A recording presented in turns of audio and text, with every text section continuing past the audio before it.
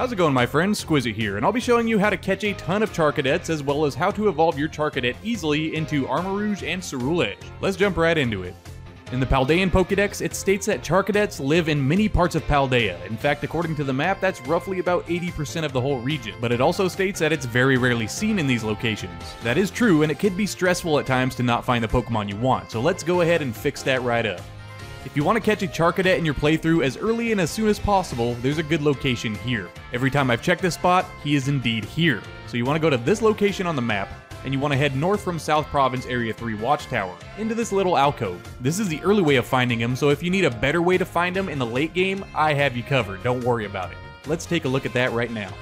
In this method of finding Charcadet, you'll find what seems like an infinite amount. First, we'll set up a picnic, and then we're to make a beautiful sandwich. This sandwich is to be one of the default ones called the pickle sandwich. After your sandwich is made, as you can see on the top right corner, the second power we have is Encounter Power Fire. That is all you need to run into all these Charcadets. After you're done scarfing down your delicious sandwich, go to this location on your map. This is located just east of the Porto Marinata and Colonnade Hollow fast travel points. What you're going to want to do here is travel along this rocky ridge looking out for Charcadets, and I guarantee you there will be a ton. Let's take a quick look at what I found. So just like I said, run across this rocky ridge and keep your eyes peeled for Charcadets. That's number two, three, four.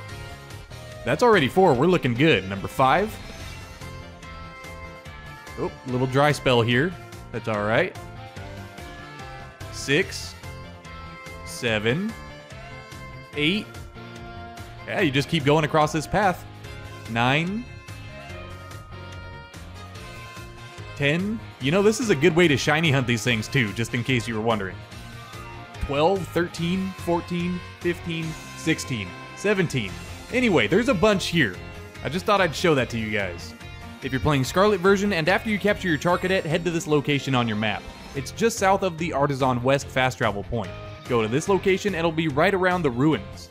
Here we'll be gathering 10 Bronzor fragments from Bronzors to trade to a man that's going to give us the evolutionary item in return. As you can see, you could just use the auto battle let's go feature and knock 10 out really quick, probably just take a couple minutes, and we'll be done here.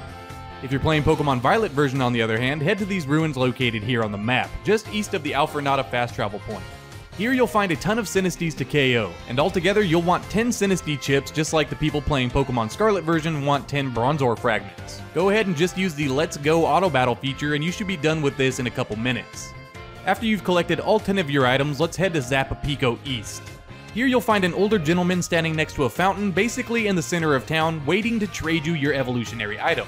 In return, he wants your 10 Bronzor fragments from Pokemon Scarlet, or your 10 Sinistea chips from Pokemon Violet. In Pokemon Scarlet, he'll give you a set of Auspicious Armor, which will evolve your Charcadet into Armarouge, and in Pokemon Violet, he'll give you a set of Malicious Armor, which will evolve your Charcadet into Ceruledge. After that, simply use your evolutionary item on your Charcadet just like you would an evolutionary stone. I'm playing Pokemon Scarlet version, so my Charcadet's going to evolve into Armarouge using the Auspicious Armor. And again, if you're playing Pokemon Violet version, using the Malicious Armor on Charcadet will evolve him into the better evolution, Ceruledge. Yeah, so if anybody wants to trade me a Ceruledge from your Violet version, I would be more than... Never mind, never mind. I can't even afford Nintendo Online. Anyway, that about wraps it up, my friends. If you enjoyed this, or if it helped you out in any way, consider hitting the like button as it does help out immensely. Comment down below, even if it's just for the algorithm, and subscribe to stay up to date with what I have going on. I've been Skwizzit, and I'll catch you in the next one. Take care.